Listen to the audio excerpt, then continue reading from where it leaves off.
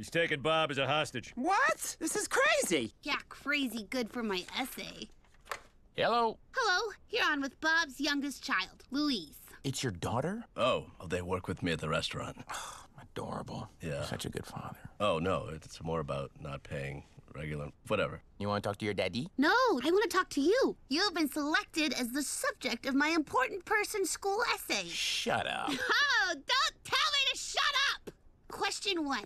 What, it's my daddy! God! How did you first get into bank robbing?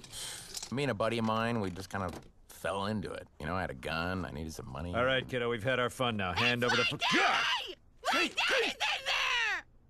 So, just a couple more questions. I know you're busy. Give me the phone. you- Give me that phone back. Give it to me. You're being so rude right now. Ow! Ouch! Serves you right, kid. Listen to me, Mickey. We need to talk. No, no, now. no. You know what? I don't want to talk to you. I want to talk to the little girl. Negative. You'll talk with me. It's the girl, or, you know, I shoot somebody, I kill somebody. All right, hang on, hang on. Hi, um, listen, Mickey, you said you were a bank robber? Hey, I'm gonna shoot somebody. Fine, here she is. This is Louise. I'm running the show now. Bobby, I'm worried about you. Who is this? Hey, it's Linda.